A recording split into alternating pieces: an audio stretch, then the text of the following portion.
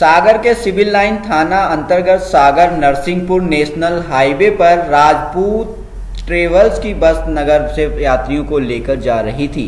तभी अचानक Sagar Narsinghpur national highway पर बरतुआ के पास अनियंत्रित होकर सड़क के बाजू में बनी खाई नुमा नाली में पलट गई।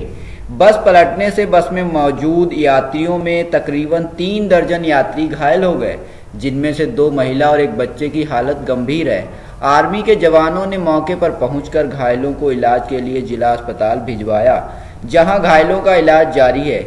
यात्रियों के अनुसार तकरीबन तीन दर्जन यात्री घायल हो गए हैं। बस ड्राइवर की गलती की वजह से ये एक्सीडेंट हुआ है।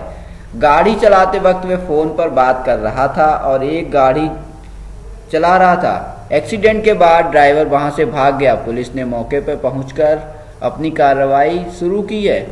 एच एम टीवी लाइव के लिए राहुल रजक की रिपोर्ट। बस कहाँ से आ रही थी? सागर से।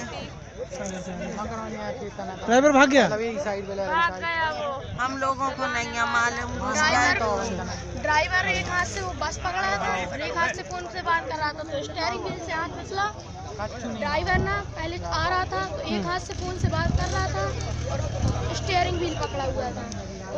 उसने जहाँ से ये बस क्रॉस हुई रोड के साइड उसने पहले ही कूद के भाग गया वो। पूरी ड्राइवर इसमें पूरा वो सर पूरी गलती ड्राइवर